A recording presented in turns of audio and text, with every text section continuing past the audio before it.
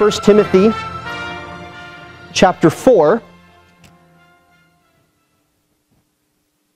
I want to say thank you to all of you for your prayers and your concerns for our family as we welcome to the world um, uh, Carly, our youngest now. Um, especially thank you to those who have helped in bring, bringing food and just being a blessing to us. We really appreciate that very much.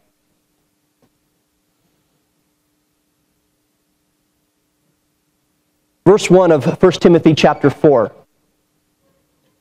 Now the Spirit speaks expressly that in the latter times some shall depart from the faith, giving heed to seducing spirits and doctrines of devils, speaking lies in hypocrisy, having their conscience seared with a hot iron, forbidding to marry and commanding to abstain from meats which God hath created to be received with thanksgiving of them which believe and know the truth. For every creature of God is good, and nothing to be refused if it be received with thanksgiving for it is sanctified by the word of God and prayer. If thou put the brethren in remembrance of these things, thou shalt be a good minister of Jesus Christ, nourished up in the words of faith and of good doctrine, whereunto thou hast attained. Father, as we come before you to open your word, to understand your word, and to apply it, may your Spirit give us the grace. May your Spirit enable us. Uh, may you do what is in our sight um, miraculous, and that you take the very words of yourself, your own words, through a human vessel and make them implanted deep in our lives and in our hearts and our minds. Lord, please remove that which is from me, and I pray that that which is from you would remain in hearts today. And may we go from this place not just hearing good words from you, God, but may we go obeying your good words. We thank you, Jesus, and we pray that the Spirit of grace would enable us to understand and obey. In Jesus' name, amen. As certain as we believe the gospel of Jesus Christ and the truth of grace and the freedom that God gives us in His sovereign grace to pursue holy living in Christ, there are some who are the enemies of Christ. It's not a popular thing to say today, uh, but there are many people who are the enemies of Christ, the enemies of his church, the enemies of the gospel, the enemies of grace. And this is nothing new. The enemies of the divine gospel truth have consciences that have been cauterized, it says in 1 Timothy chapter 4, seared past feeling. They have been cauterized. They feel no remorse for what they do, and they think nothing of causing others to disbelieve and question what God has revealed in His holy word. That's what we learn in 1 Timothy 4 1, which we looked at two weeks ago. These deviants are obviously not going to announce, hey, I'm here to turn you away from the gospel. I don't want you believing in God. No, the Bible says that they are with seducing spirits. Spirits underneath, demonic powers underneath, seducing people to give away from the revealed truth of God's Word. The Bible says in chapter 4, verse 1, they are, or chapter verse 2, they are hypocritical liars who with smiles and good speeches profess allegiance to the gospel of Jesus Christ. They speak passionately and persuasively into the ears of undiscerning, inexperienced minds in the truth. And they convince many through their lies that they have the secret to holiness or that they have the path to a full life. Their words drip like honey on expectant tongues as they promise life, happiness, meaning, fulfillment but they bind souls in lies of work and work and work. There is always one more rule to obey. Always one more work to do, one more ritual to keep, and in keeping the codes and ordinances, devaluing, devaluing true love and holiness with empty ritual. And so go ahead and sin as you please with your drunkenness and revelry and satisfy your soul. Then confess and do penance and make up for it in some fashion for atonement. Pursue your pleasure. Then do a temple work and offset the failure. Make the external priority and bury the false motives under the layers of work and ritual. And when you're released from your principles, when you're not at the temple, the synagogue, the church, live life to its fleshy fullness. These teachers that teach this and they, they evidence this, they lead people down a dangerous spiral, one where legalistic activity and libertine thinking collide, where one is free to live immorally, selfishly, and lustfully, while then countering the guilt with ritual, religious expression, and tears of remorse. And the most dangerous part of such a life and this teaching, this demonic doctrine, is that those who bend their ears to be tickled by this teaching with this system of rule and riot are so busy satisfying their flesh and then making up for it with their ritual that they don't see that Jesus Christ frees us from that life. They have no room for Him but mere platitudes to put on signs, to, to speak the name as some kind of talisman, but no real focus on the finished work of Jesus Christ on our behalf because they're just too busy. Just too busy. Too busy living life to its fullest and then making up for it with religious expressions why it's hypocritical lies. 1 Timothy 4. Hypocritical lies. That is why these speaking lies and hypocrisy, whose consciences are seared with a hot iron, are so dreadful because they cause those who have heard the good word of God, who have listened to the preaching of the gospel of grace, who have been experienced some aspect of God's common grace in their life and even the revelatory grace of God's word, it causes them to say, No, you know, I'm turning from this, I am departing, I am apostatizing. I wouldn't say those words, but that's what goes on. And so in chapter 4 of 1 Timothy, Paul is warning Timothy that it's going to happen. There are those who are going to depart from the faith. That word is apostasy there. Now, they were never those really chosen by God.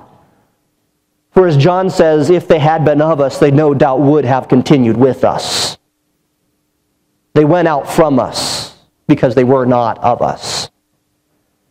It's like the people in Hebrews, the book of Hebrews, who had experienced so much blessing. They had heard the word of God. They had heard of Jesus Christ. They had heard everything there was to hear. But then, when faced with the, the dangers that that presents, the sacrifices that that means, when faced with the reality that, that they're not going to be tolerated, they turned back in Hebrews to the former Jewish way of thinking, to the former sacrifices, to doing it over and over again. And it says that in such a situation, for those that have heard the good word of God, who have been partnered with the Holy Spirit, meaning the Holy Spirit has been in convicting them and leading them and they have they have heard the prophecies they've seen what god has done. If they then depart it is impossible to renew them again to repentance seeing they crucified to themselves the son of god afresh over and over again. They make the sacrifice of christ of nothing because they knew They'd heard, they'd been exposed to the gospel of grace,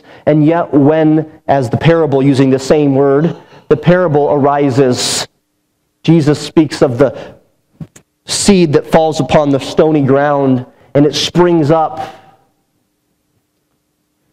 But when the temptations come, when the trials come, it withers and departs because it had no root after all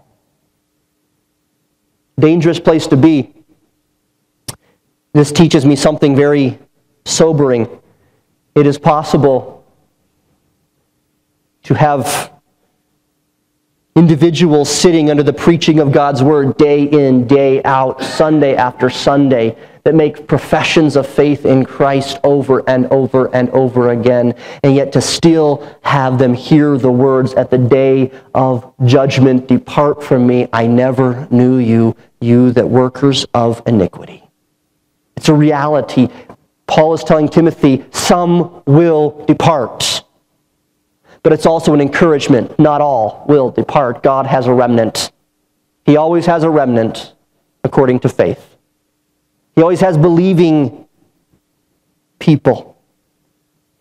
But these teachers that come in speaking lies and hypocrisy with their own consciences seared with a hot iron. They are seeking to find those inexperienced, weakened souls and to lead them down to the path of hell.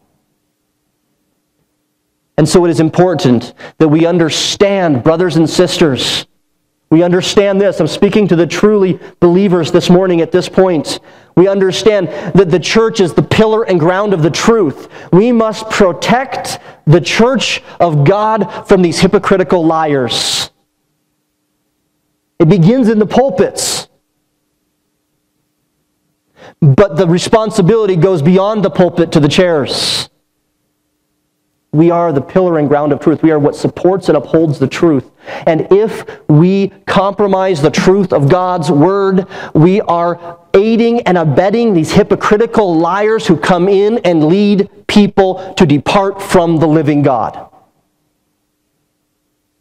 This is not a time when we need to be so concerned about individuals not liking the words we speak, being afraid of being considered by the culture and the world around us as, as intolerant or unloving or uncaring because we say what God says. We say there is one God and only one God, and Him we worship alone. We cannot be afraid what the world is going to think about that because we are the pillar and ground of the truth. And Paul is seeking in this text to encourage Timothy in this, to encourage him. It's going to happen. Don't lose heart, Timothy. It's going to happen. But also, there is a warning here to those who would attend the worship of God with God's people day in and day out, and yet still reject the gospel of grace. There is a warning. There could be a day when you fall away, never to repent. Be careful. Be warned of that. This morning, I want to continue looking at verses 3 through 6. We looked at that two weeks ago, this reality of the apostasy. I don't want to rehash that um, any more than I already have this morning. Uh, but I want to look at the content of the apostasy, or really the, the root of the apostasy, the root that these hypocritical liars were doing, what they were doing to lead people away, what they were saying, what was going on here, first at Ephesus, and then how it applies to us today and what we must be warned against today. Um, it's called demonic doctrine. Now, that's a very harsh term, isn't it? It's not a very tolerable thing to say today, to say that is demonic doctrine doctrine of devils. And yet, that is exactly the way the apostle describes it. And then in verse, verse 3, he gives some more evidence as to what makes this demonic doctrine. What was the specific problem here in Ephesus? But before we look at what the specific problem here in Ephesus is, I want to go backwards and see what the first demonic doctrine we have taught in the Bible is. Because in Genesis chapter, uh, chapters 2 and 3, uh, we have an account of the first doctrine taught by the devil himself. I contend that actually we find the same demonic doctrine in Genesis that we find here in Ephesus, as Paul's warning in Timothy. How is this? How, how is it these satanically influenced, seducing liars spin their webs? How could one who sits under the exposition of the Word of God be led in such wrong thinking to depart from faith? We might as well say, how could one who has been in the garden of God and has seen the presence of God and experienced the greatness of God be led away by a demonic doctrine. Brothers and sisters, we must not become proud and arrogant to think that somehow we have no fear. When Adam and Eve, in the very presence of God, fell so easily away from truth. See, Satan came to Eve and deceptively began to question the authority of God's revelation. He said, He began this, Yea, hath God said, You shall not eat of every tree of the garden? He is causing her to doubt the accuracy and authority of what God has said by twisting just a little what God said. Because God had said in the garden, He had said, Of every tree of the garden you may freely eat. That tree, no. Satan comes and he says, Did God say you can't eat of every tree? He just reversed it. And he didn't even contradict what God had said at this point. Because God had said they couldn't eat of that tree. But what he's doing is he's devaluing the goodness of God and emphasizing the restriction. And Eve, causing Eve to think, wait, what did God say? Wait, what did he mean? Is God good? Causing her to doubt the very revelation of God. But he doesn't stop there. As you see, the next step in causing Eve to apostatize, to depart, when she responds with what God had said, saying that is a very bold thing, he sets himself up as her teacher. He informs her very plainly that indeed God has been lying to them. You see, God's the liar, that's what he's saying. Satan is saying, but I have the answer. Listen to me. I'll tell you what you need to know. Here's the secret. Here's what God's holding back from you. Here's the here's the what you missed. You see everyone else has been understanding it this way, but I alone have the answer. I know the real meaning behind it. I know the true truth. And what does he say it is? He says this is what it is. See, God just knows that in the day you eat of that fruit, you will not die, but you'll be as gods, knowing good and evil. That brings us to the, after he set himself up as the teacher, that brings us to the third step and final step of apostasy absolutely contradicting what God has said. What Satan says in that last little bit is an absolute lie. Because God had said, In the day you eat, you will die. Satan said, No, no, what, what did God say really? He's, what, what, are you sure? I mean, you can't eat of every tree? What, that doesn't sound right. But I'll tell you what, I'll tell you what the truth is. I'll help you understand. God's, God's not being very good. You won't die. Liar. Liar. And so she departs. She gives heed to this demonic doctrine. And her husband, along with her, departs, giving heed to this demonic doctrine. But things have not changed that much over time. In fact, here in Ephesus, we see the demonic doctrine is, is much the same in principle. I was going through the Word of God, going through Timothy and studying for this, and I, I um, began to notice that it's not very much in this epistle that Paul outlines what the false teaching in Ephesus was. He gives a lot of descriptions, but he doesn't say they're teaching this, which is wrong. Almost as if he, Timothy should know what it is. Paul's already told him, um, and he's just warning him about it. But I did go back and said, what are the times when Paul does tell Timothy this is what they're doing? And we piece those together and see if they get a bigger picture of what was the demonic doctrine about in Ephesus? And so if you go back to 1 Timothy chapter 1 verse 4, you find the first instance where this is addressed. in verse chapter 1 verse 4, he tells Timothy, "Don't give heed to fables and endless genealogies which minister questions rather than godly edifying, which is in faith. So the first thing he warns about in the problem in Ephesus is there were these teachers, these people who were going around teaching myths and these endless genealogies. We preached on this before. We looked at this already, what these means, and so I'm not going to rehash that. And yet, notice what the result of these teaching of the fables and endless genealogies is. What does it say in the text? which minister questions. Now, we're not talking when it brings up good questions. Another way to translate that, which produces doubtings,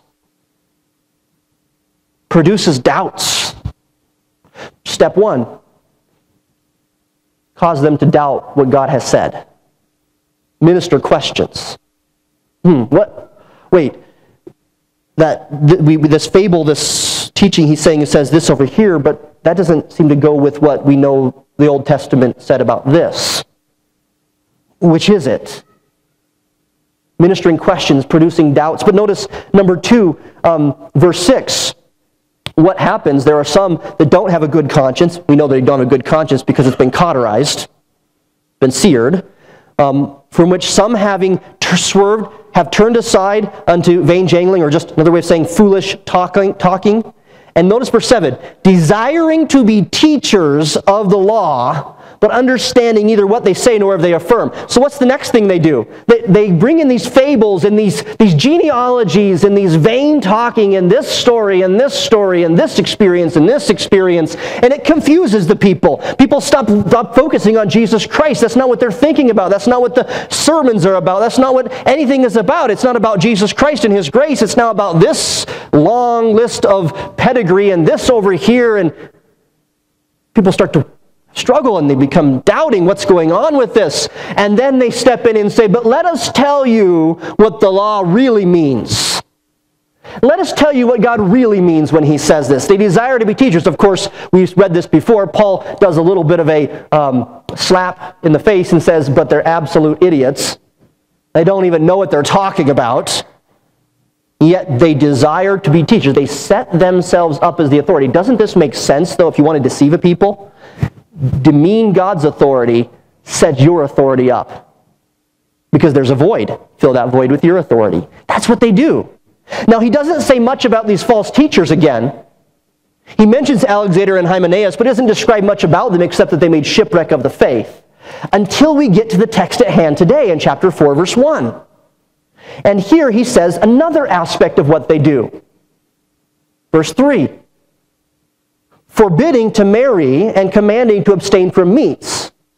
So here's step three undermine God's authority, set yourself up as the authority, and then contradict what God has said. Blatantly contradict it.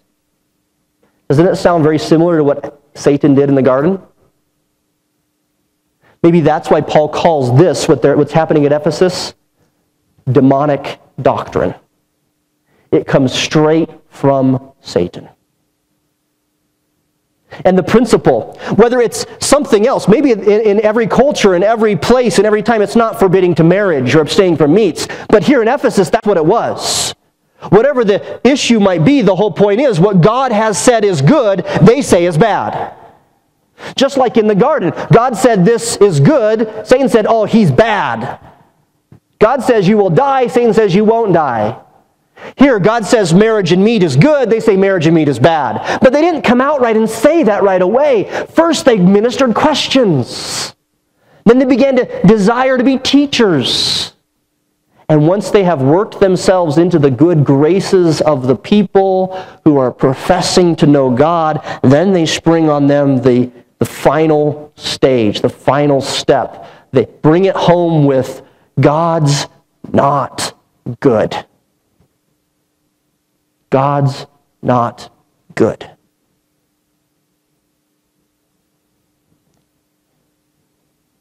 So, the underlying nature of the demonic doctrines was not a preference here, whether to stay single or get married, eat a certain diet or not. But these liars, after having sufficiently deceived the people into giving heed to them, they go on the offensive and attack the goodness of God. They attack His grace, they attack His gifts.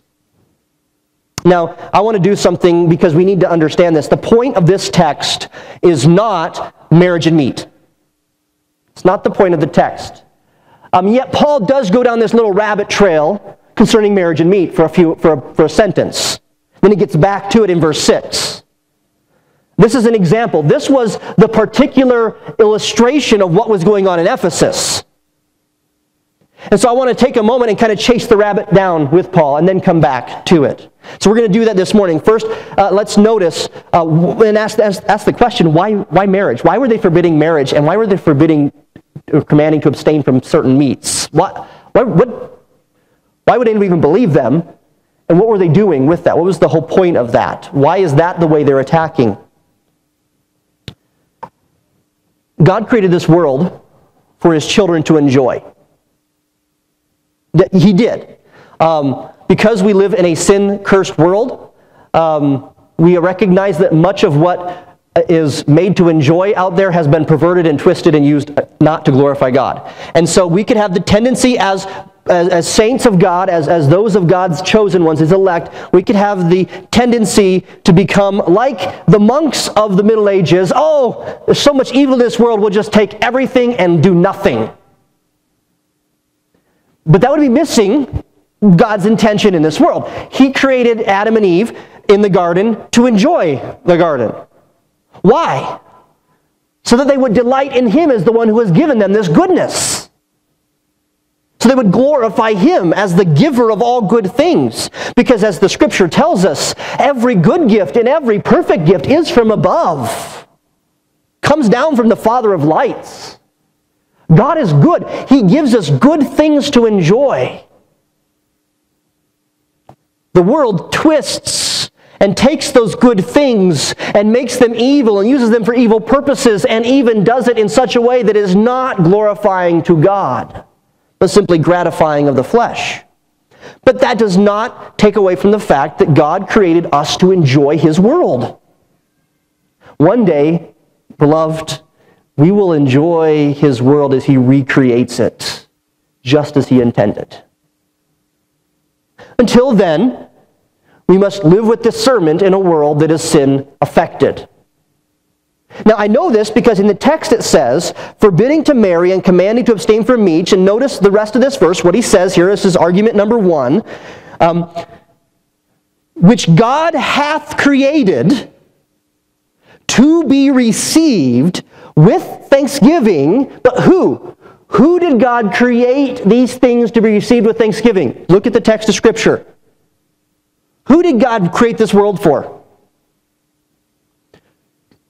Of them which believe and know the truth. Did you understand this?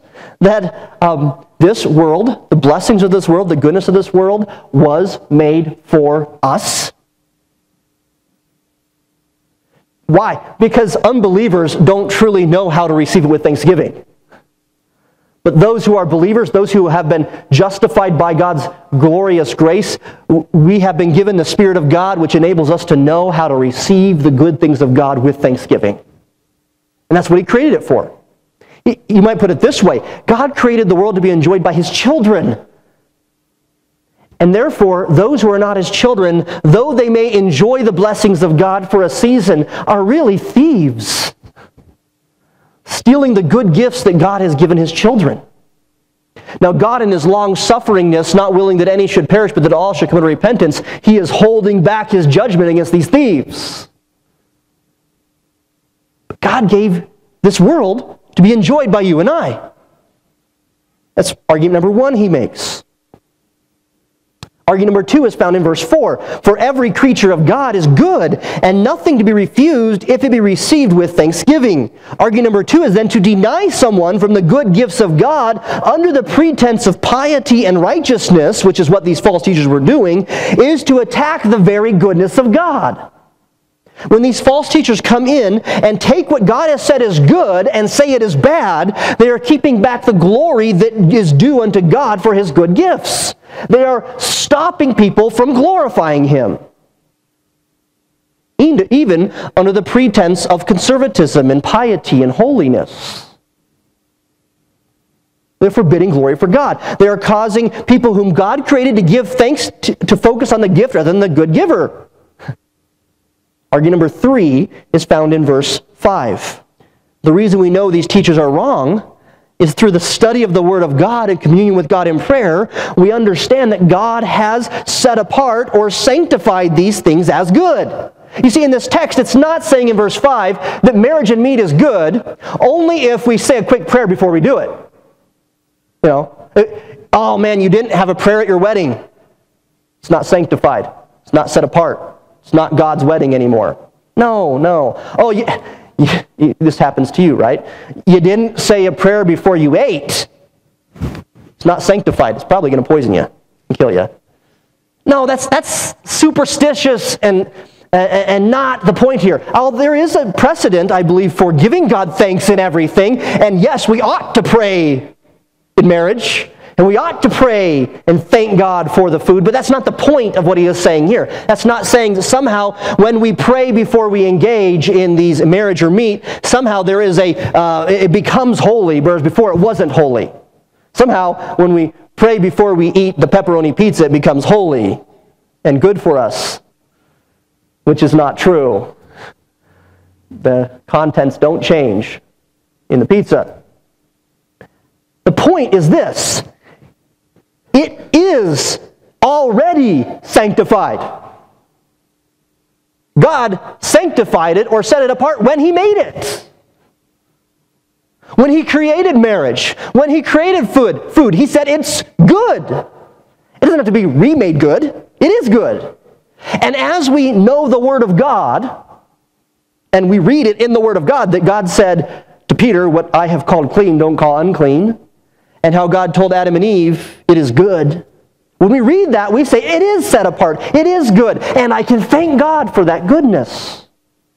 And when I pray in my intercessions, I thank God. And so through the Word of God in prayer, I recognize that these things are good. And so his argument is this first, God created it to be enjoyed by his believers, marriage and meat. Second, to reject marriage and meat is to reject thanksgiving to God. And third, if you had been in the Word of God in prayer, you would not have been so easily led astray by these false teachers in believing that marriage and meat was bad. That, that's what he's saying here. So that's the rabbit trail he goes down. Another way to say this, maybe an amplified paraphrase that I, I wrote, was this Think about it, church. Multiple prophecies have noted that in the latter times some will depart from the faith. They will give heed to hypocritical liars whose consciences have been seared. These liars have been seduced by spirits and teach demonic doctrines. Even here in Ephesus, they have been teaching you that celibacy for marriage is holy and good, even forbidding, but forbidden by God and that only eating a certain diet will make you good and righteous. But think about it. One, God gave both marriage and meat in the very beginning so that you who are truly believers and know the truth would gratefully glorify God with both marriage and meat. And think about it. We know that since God is the giver of all good things, He gave every creature in creaturely comfort to be gladly received, not rejected, so that His children would embrace God's goodness and with gratitude. You know this, brothers and sisters, because the good gifts from God have been set apart and revealed to be good and holy in the Word of God, and is recognized as such by Spirit indwelt children when they lift their hearts toward heaven in prayer. The implication is this, brothers and sisters. If the church were to be regularly, both personally and corporately, in the Word of God and seeking wisdom and communion with God in prayer, these teachers would not be so easily able to deceive you with their false piety and legalistic demonic doctrines. Because it is through the Word of God in prayer that we understand truth. Knowledge of the truth and a commitment to follow divine truth is the greatest antidote to heresy and apostasy.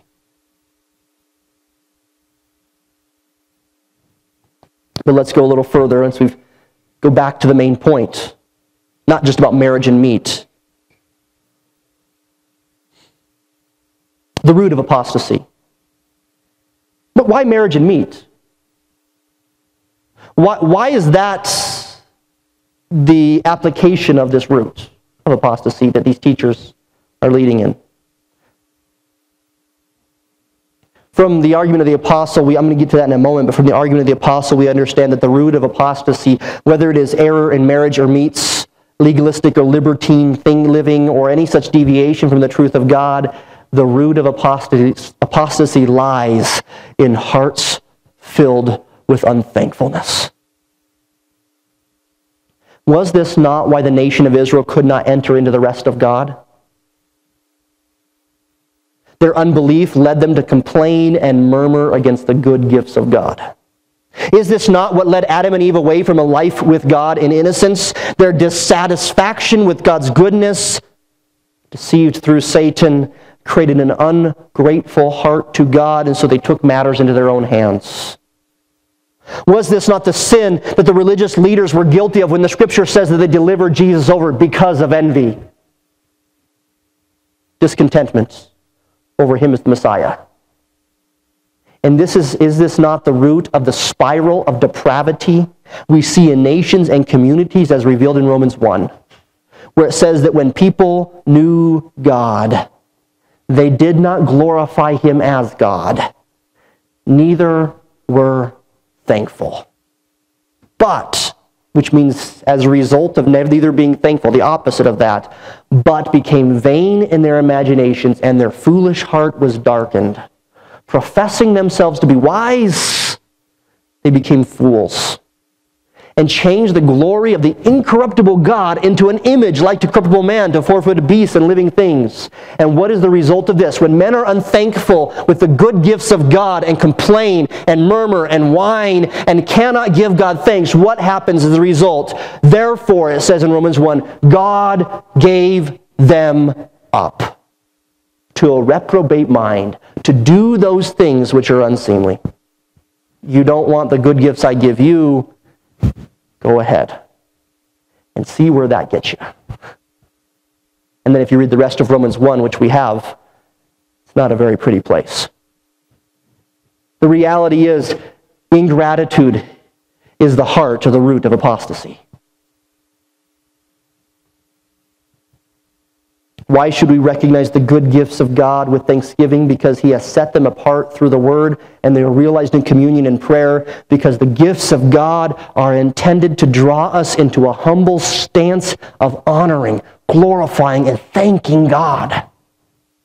But these hypocritical liars attack the goodness of God so as to make people ungrateful and un and catch this this is important ungrateful people look all kinds of places for satisfaction and turn to a number of idols in order to find that hope.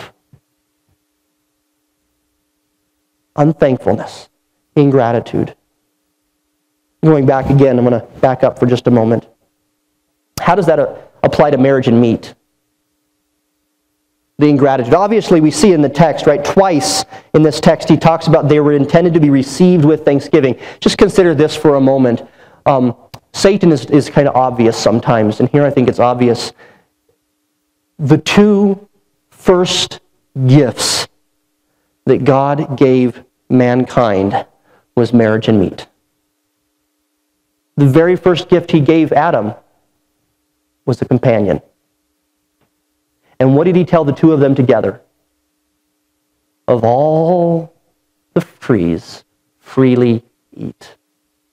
He gave them marriage and he gave them meat. He gave them companions and he gave them enjoyable food.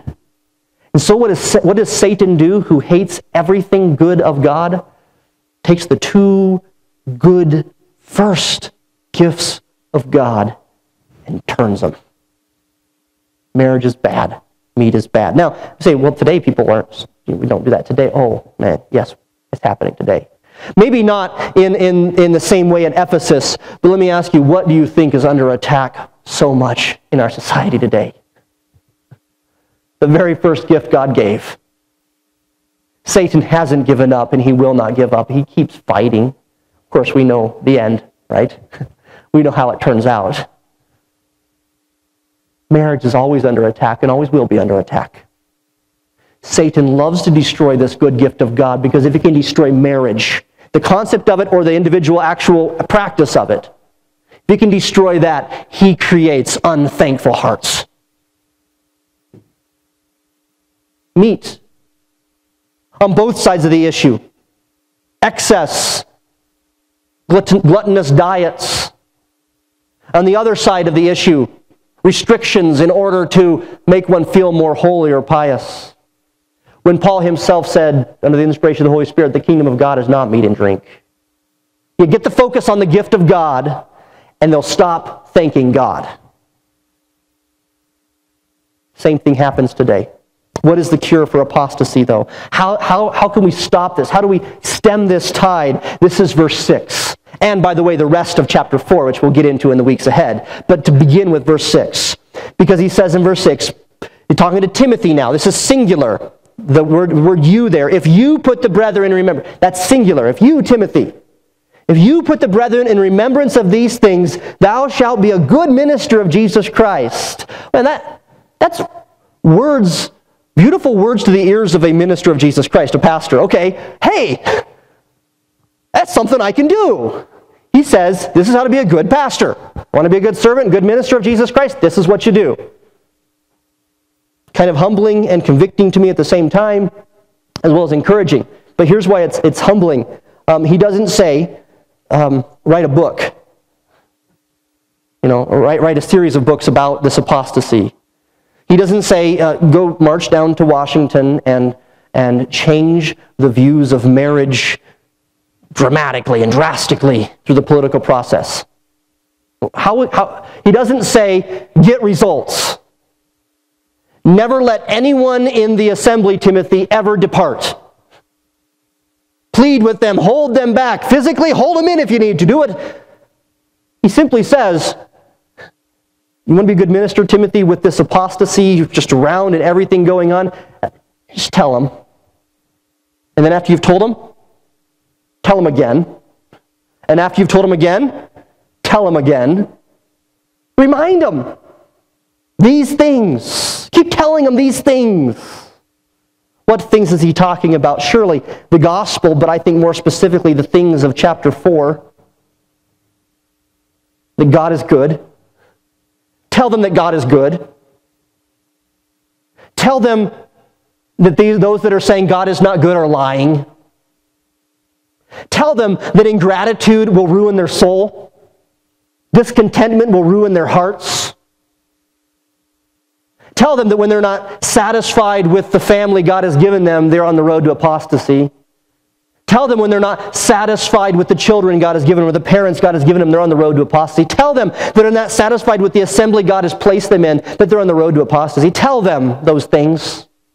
And then tell them again and again and again. And the good minister of Jesus Christ, the job is never done. Until the day he dies, he tells them again and again and again. And as a good minister of Jesus Christ, he lives with the fact that my job, his job, is not to get results. The job of a good minister of Jesus Christ is to preach the truth, first to know the truth, preach the truth, live the truth. And you, Timmy, you do that, do that, Tim, you'll be a good minister. You'll be a good servant. Because a servant doesn't have to come up with what is right and what is wrong. A servant doesn't have to come up with what is true and what is false. A servant doesn't have to come up with the plan or the way or the program for implementation. The servant simply does what the master tells him to do. And your master has already said marriage is good and meat is good. Your master has already said through the Spirit expressly that some will depart. And so what you need to do is tell them. And so apostasy's cure begins in the pulpits in the churches from pastors telling them. This is what God says. And that is why every time I enter this pulpit, I'm afraid. I fear. The reason for that is because I know I'm trying to tell you what God says. And the Old Testament word for it is woe means judgment, trouble. Woe upon a man who opens up God's word and says, This is what God says, but it's not what God says.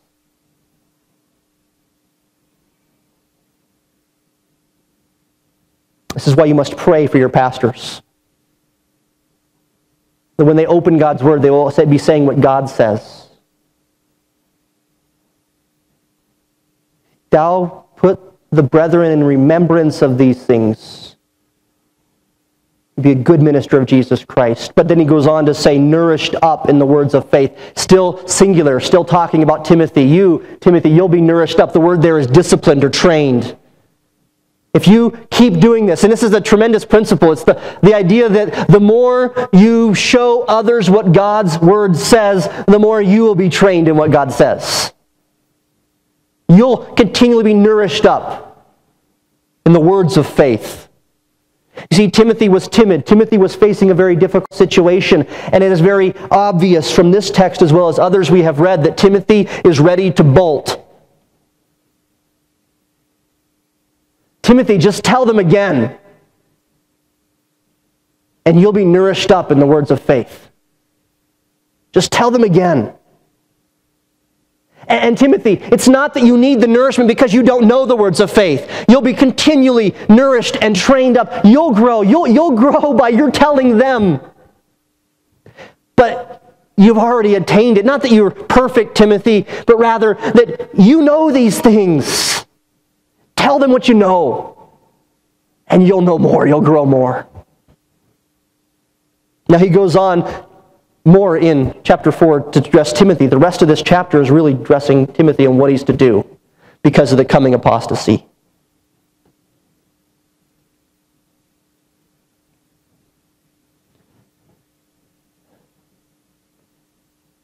So we notice that this apostasy, departing from the truth, is real. There are many professors and those who try desperately to be a Christian. Without being regenerated, they're simply going along with the ride. These are the targets of the hypocritical liars with burnt consciences.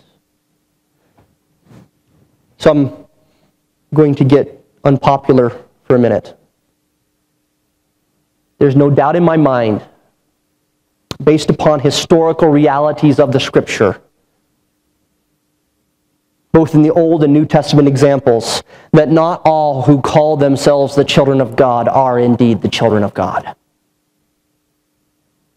Not all who claim Christ as their Lord and Master truly are have Christ as their Lord and Master.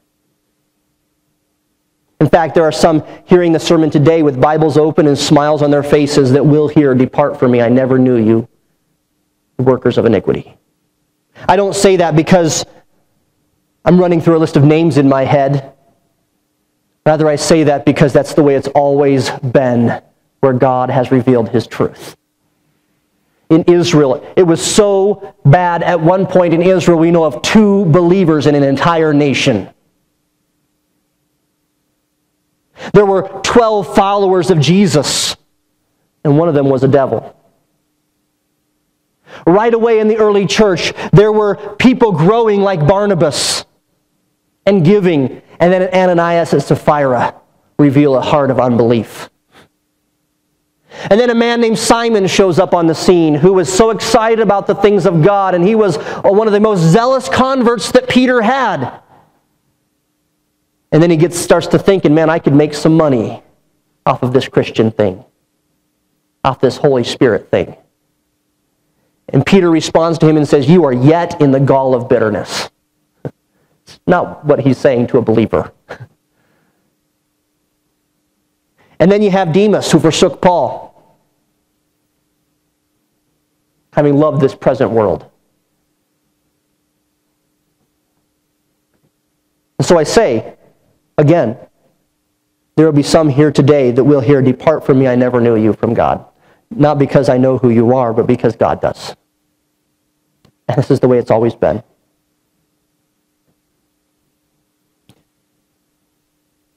These individuals do everything they can to be a Christian, attend services most of the time, get baptized, give money and time to the church and to God. They are going about, though, to establish their own righteousness. They have never humbly realized that they are a curse and a blight upon the name of Christ. And instead of falling upon the mercies of God and crying out, undone, unclean, in your sin and misery, you've attempted to do better, be stronger, be a better person, or impress other Christians with Bible knowledge and external duties. My friend, if this is you, hell is just as hot for the Christian pretender as it is for the pagan who knows nothing of Christ and loves his sin.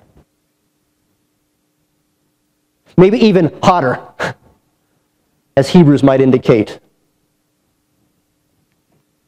You think you're okay, you're good because you said the sinner's prayer, because you gave your life to God in order to fix your marriage, to make you a better person, to get a job, or to have some kind of status, to get friends. But my friend, I say this with sincere concern for your soul. God is not impressed with you. In fact,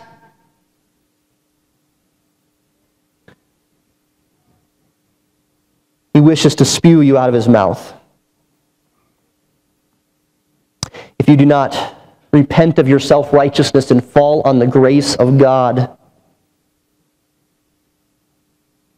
Seeking to glorify Him alone, your religious expressions and rituals, your love for preeminence, or your false piety, demeaning God's goodness with your religiosity, will send you to the lake of fire.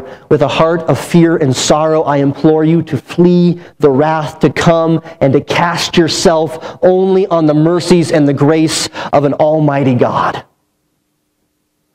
Look not to a prayer to save you. Look not to tears to deliver you. Trust not in sincerity nor in the work of your own doing, but trust only in the finished work of Jesus Christ on your behalf. And repent and believe this gospel. I believe there are some here today who are experiencing the conviction of the Holy Spirit in this regard, but I also praise God because I believe that most here in this assembly desire holy, godly lives of thankfulness. And I call you my brothers and sisters. Yes, examine yourself and see if you be in the faith. And as the Spirit of God confirms this within your heart, rejoice and give God thanks. Know God, love God, serve God through His Word and prayer, and the Spirit will keep you from falling. Yet we noticed that Timothy's responsibility as shepherd was to put the brethren in remembrance. And so we might say, well, that's great, Pastor. We'll pray for you to do that. And yes, I am deeply convicted with this responsibility, but the rest of it might be this way. But what about us? What about those who are not shepherds like Timothy was? I think if we turn over to Hebrews chapter 3, 12 and 13, we can get some words of admonition and practice for us.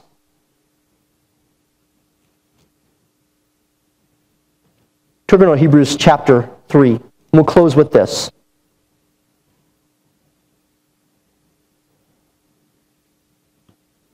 Verse 12. Take heed, brethren. Same language used by Paul and Timothy.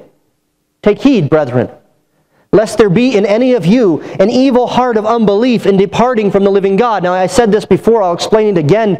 Uh, that word you there is plural. Take heed, brethren, lest there be in among you all an evil heart, singular, of unbelief. So it's not saying that take heed, brothers, lest you have some evil in your heart. Rather, it's saying take heed, brethren, lest amongst your assembly there be one or two, or there be an evil heart of unbelief in departing, or that causes them to depart. That's the same word, apostatize, same word in 1 Timothy 4. In departing from the living God. There's the warning, the warning that was already given that Paul gives in Timothy and the apostle here gives again. Take heed, there's among you those that may have an evil heart of unbelief. They are threatening to apostatize, and they may not even know it, and you may not know it. But watch out, it's going to happen. Be careful. And so we go back to 1 Timothy and we say, well, what happens? Timothy, remind them, warn them, remind them. Okay, what about me? Verse 13 of Hebrews 3. But, and this is plural, you exhort one another daily. He's not talking then about pastors here. He's talking about the same plural you before, the assembly. But you exhort one another daily while it is called today, or that's an idiom uh, meaning urgently. Urgently. Lest any of you, plural, be hardened through the deceitfulness of, the, of sin. And in the context here, the deceitfulness of this kind of sin, the sin that causes them to not believe, unbelief, to depart.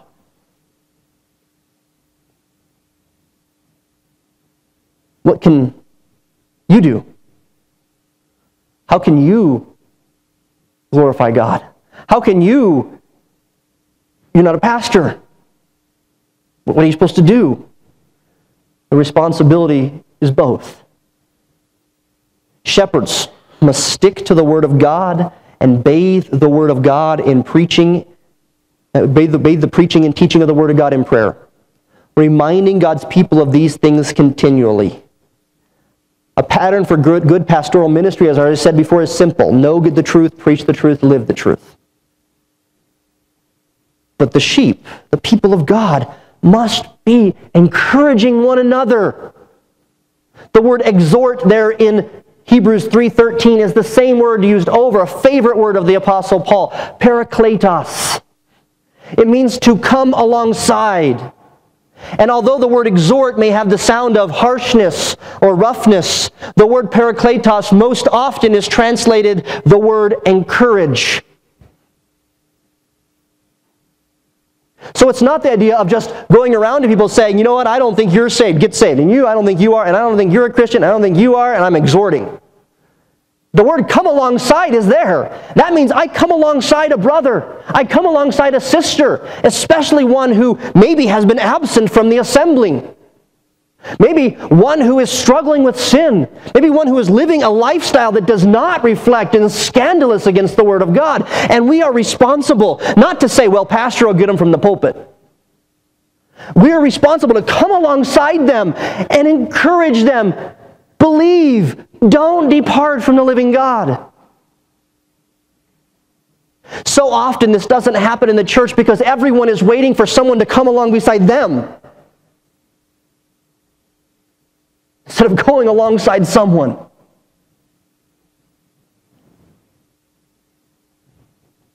You see, this can only be done as we live simple lives of urgent gospel transparency. It's not about having friends in this assembly. You can go a lot of places and have friends, but friends don't keep you out of hell. Brothers and sisters in Christ, the church, we must exhort one another daily. We must be noticing when professing brothers or sisters are absent from assembly, and we must lovingly and graciously say, Why?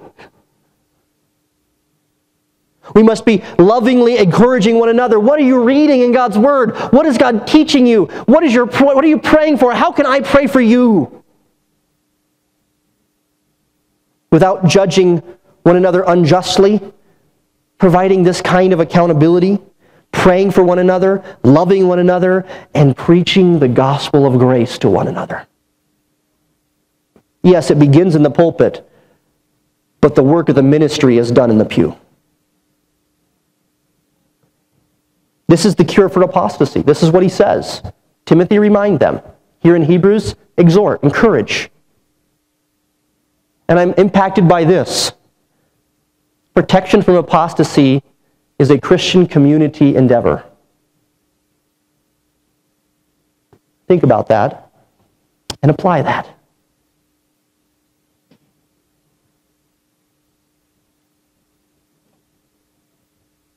Let us be careful, brothers and sisters, that in all that we have experienced and all the blessings of God in this land in which we live, that although we may even be truly Christian, we do not imbibe the apostate spirit of the culture and be ungrateful people. May we bloom where we are planted because God has sovereignly planted us where He desires. Glorify God. Give Him thanks for His mercy endures forever.